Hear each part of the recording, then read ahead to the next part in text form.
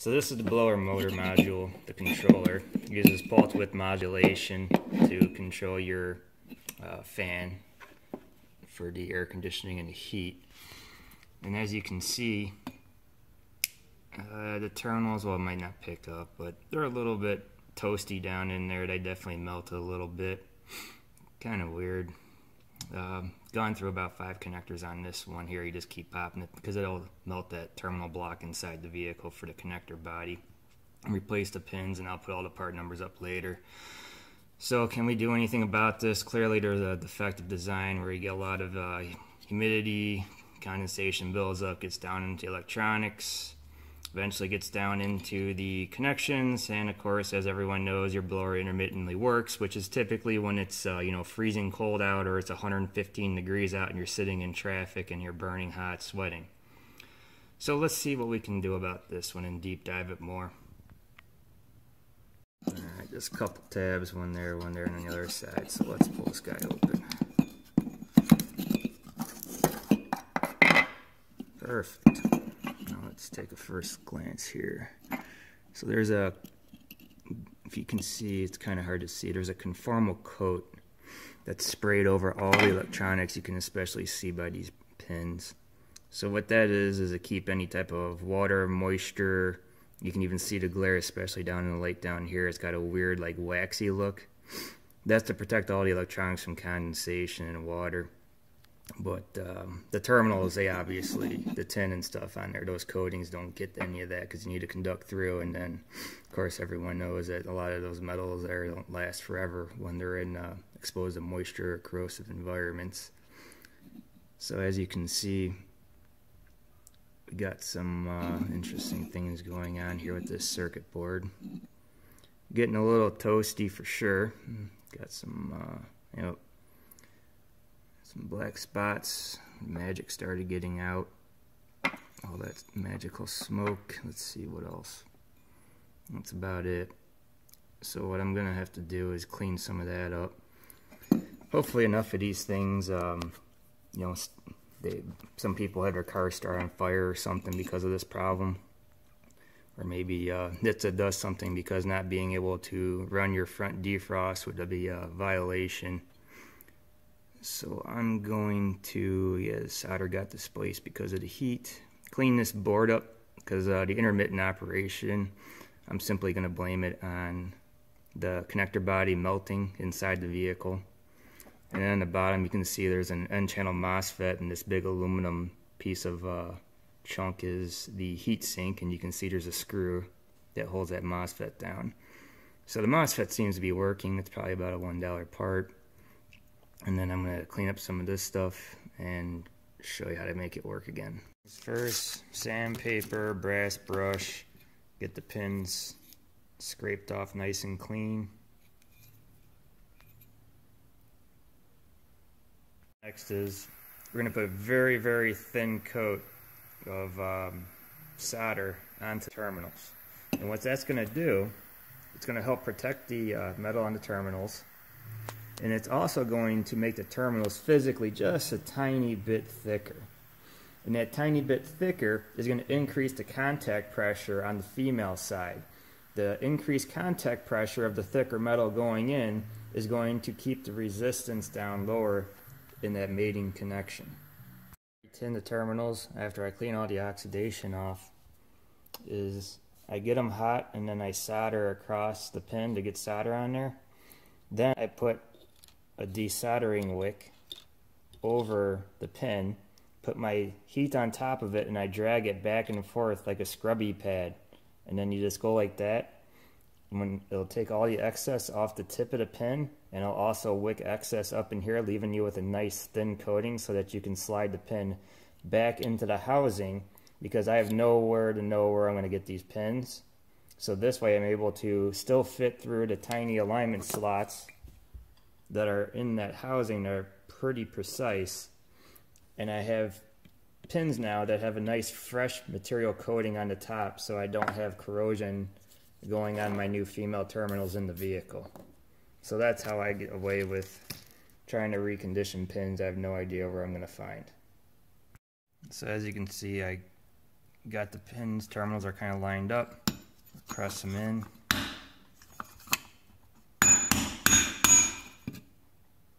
Starting to come through almost in place. The tab's locked in. Both sides. So this guy should be good to go. Once again, this was an intermittent. Sometimes they'll just completely stop, but usually they're rebuildable. It's mainly because this terminal, the connector melted that goes in here. So now we're in the vehicle, and as you can see, we're in the footwell. Let's take a look at the connector. And things get a little toasty, especially in those three wires on the right. If I had to make a wild guess, I would say that there is a lot of power going through three connections that are really close together. And the heat that's generated at the terminals causes a derate on the connector's capacity for current. And because they're so close together, you start to get some melting. Hmm. Surprisingly, I don't see more cars like this on fire somewhere. So let's take a look inside because if you got excess heat, what happens is you see the pins they start to relax. So let's take a look if I can get the light right. There we go. You can see going from the right, uh, pin 2 and 3 in, see how the gap opens up. The, uh, if you want to call it the spring that presses against the male terminal, the heat causes it to start to relax. So as it starts to relax, the metal doesn't press as hard, giving you higher contact resistance, more heat generation, and then it's just a snowball effect until your connector melts and also your pins can melt out of the boards too you can see on the signal pins all the way in that far left corner that guy he's fine he's happy so he's got to be a thin wire oh he's uh Oh, okay so he's spaced away from the other high current ones then the signal one there he's he's the best of all of them so this one second from the left You'll see he's hard to see on camera, but he's definitely sprung up there the highest. So if you jam all, so that even proves it more. If you jam all three high currents all in a row packed next to each other in this connector, it's all tight. It's too tight. You don't get the power generation. These things get too hot. If you keep the higher current one farther away from the bunch, he gets more heat dissipation, and that's why he's all right. And then, of course, the signal wire is all right. So what I'm going to do is I'm going to uh, cut this whole thing off. Um, this one, this connector's trashed. I think it's like 18 bucks to get one on uh, some car website, but I'm just too cheap. So I'm gonna go through all the parts to make one of these connectors and tap it onto your factory harness so it looks pretty OE.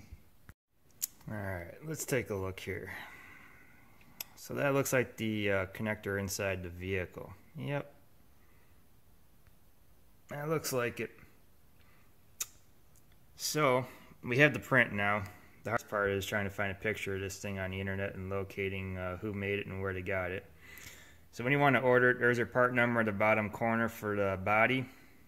And then uh, you can't read that little gibberish in fine print, but that's effectively what it says. The connector, looking at a secondary lock, which is a little plastic tab, and then the pins one part number got superseded by another part number, so the lower part number is the correct one if you want the female cavities. So let's take a look here what these parts look like. As you can see, I've uh, been replacing these for quite some time now, so let's look at the parts. This is the piece that goes into the back of it. All it does is it holds the pins inside the connector. So they call this the secondary lock right there. And the secondary lock, uh, when you look up that part number, is roughly 64 cents.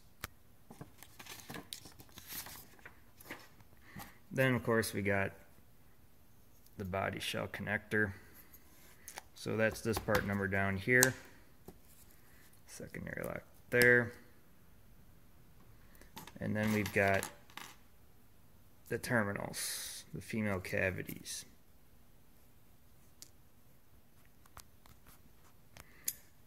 So if we look at the connector, about $1.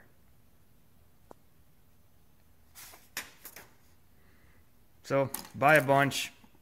Connector is going to keep overheating on you. The only way to really get around this problem is to drill a hole into the side of the module, solder a wire straight to it, run it around, tap it into the harness, tee it in, solder it onto the vehicle harness. So this way these high power current connectors or the connections, these terminals, aren't actually being used in the connector. All you're doing is providing the signal wire through the connector and then the power. But I'm gonna make it look more like factory because I'd rather have some other mechanic run around trying to figure out in the future after I get rid of the vehicle, how am I gonna fix this problem? And let him replace the connector and not, you know, put a true fix in. So this way you can just keep swapping out those $100 uh, modules from wherever you're gonna buy them and they'll just keep melting. Same thing with the connector. You can get these connectors with a pigtail for about 18 bucks on the internet and let everyone keep running in circles. Alright, so first thing we're going to do, we're going to take that screwdriver you never thought you would ever use. It's pretty useless. Going to get the assembly lock out.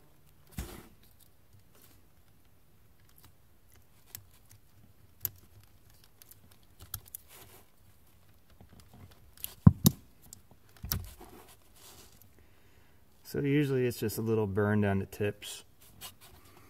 Plastic, for some reason here, doesn't get hot enough to start your vehicle on fire. It's unfortunate because if your vehicle would start on fire and this was a hazard, the dealership would be the one that has to fix this and not you. So let's see what else we got going on in here. Can we get some wires out? So they are locked in even without the TPA, so that is a secondary lock. Uh, typically, if you look on the bottom, there's usually an opening somewhere in the cavities. You uh, stick a little pin, paper clip, extend it out, and jam it in the bottom, and it should unlock it. It should release it. So I'll be right back after I get one uh, paper clip or something. One of the nice things about this connector in the back, it's so large.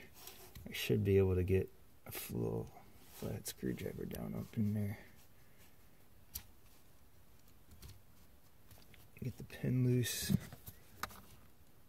or unlocked. Oh. More than likely, you're going to run into problems getting these uh, connectors and terminals out. You can see how nice and toasty everything gets in there. And what happens is the inside of the connector melts. You can even see there's a little dab missing here. Everything inside distorts, and the locks on the bottom of the terminals get caught up in the melted plastic. So you're going to have to push really hard because this connector body, as you can see, this hole is melted. Fortunately, not enough to, you know, catch the vehicle on fire and make the dealership have to fix these things. But if you have to really jam that thing in there and you'll feel it break, you got to wiggle it around because it is toasty in there. Eventually you can get it out. See if it cracks loose. And it should pair of pliers should be able to pull onto the back of this thing. It should crack loose. Yep. At least wiggle it back and forth. Go back in and see if you can get that pin lock up because this connector with how melted it is is not going to give it up. There we go. It's coming out. There we go. There we go. See? Look at even the plastic of the connector is stuck all over that terminal. There's really eh, good luck getting that out. So I got a few more to go, and I'm going to cut these off, show you how to use my uh, cheap crimp tool, and we'll be right back. So as you can see inside a connector, you can tell where a lot of the power was. It's all melted inside there. So it's going to be really hard to get those terminal locks undone to pull the wires out the back. And the nice thing is it it melted the plastic so much that it turns to a brittle carbon and you can just actually sometimes just yank on the wires and they pull right out because that's no longer good plastic. So it's not the first time we're gonna have to do it on the car. It won't be the last time if you redo the connection system that they have in there. Alright, so he's got these cheap little crimp tools. You can find them pretty much anywhere. I think Harbor Freight has them, but there's a little like heart shape you can see there. So you can get that double crimp. Pretty common ones, nothing special on these. So we'll just take one of these wires here. A little bit off top.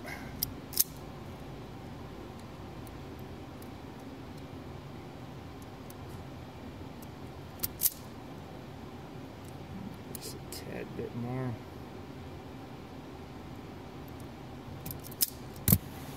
And then what you want to do is clean up that copper with a little sandpaper. Pinch it. Get any surface oxidation off of it because it doesn't look very shiny. Perfect. I like to take those little terminals, tuck everything in, perfect.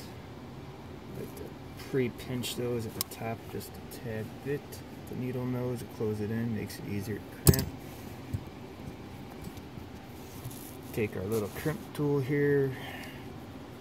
Just go, oh man.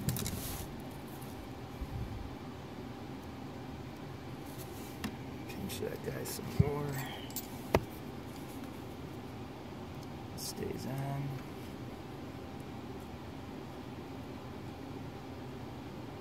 Take this guy and go eeny, meeny, miny, mo. Maybe this guy here. See. Try this one. Eeny, meeny, mo. So he seems to have crimped a little nice there. Try that again. Eeny, meeny, miny, mo. You. Crimp that guy tight. Copper. Awesome. Go back, crimp the bigger one again. Give it some extra pressure. Okay, that strain relief. Got a nice looking factory crimp there. And then I'm going to go back over and put some solder there because you always want to solder everything. When you design these harnesses, you got to pay a premium for that. So while you're doing it yourself, make do it the right way. So as you can see here, on these, I soldered them after I crimped them. In the automotive world, that's called a high dollar harness. That's why they only do crimping. We'd like to do solder, but it just cost way too much money to have each one of these individual terminals soldered. To put these back in. And the other thing about the soldered terminals is a lot of times you might see them only on like ground connections under hood or something. So let's, uh, let's just start grabbing wires here. Let's just go like eeny, meeny, maybe, I don't know, let's put it here. Mo, I guess you.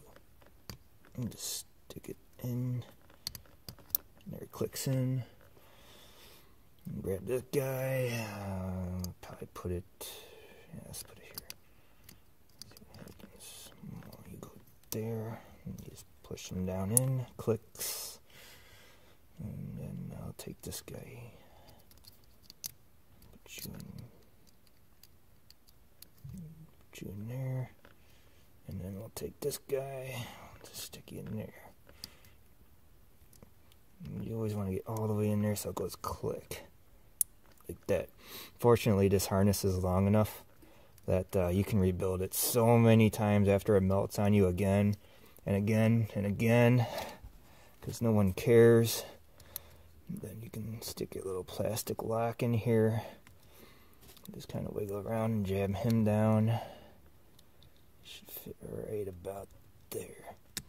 Like so. Goes and you just press that all the way down. Then we can plug it all back together. Okay, so uh, I got to finish putting that. I had to go out and grab my keys. So now we need to put this gray guy all the way back down. Locks in. Uh, hopefully I got these colors right. I'm pretty sure, but we'll find out. So then I take this guy, plug it into our blower module. So, yeah, cool. Well, let's find out if everything works.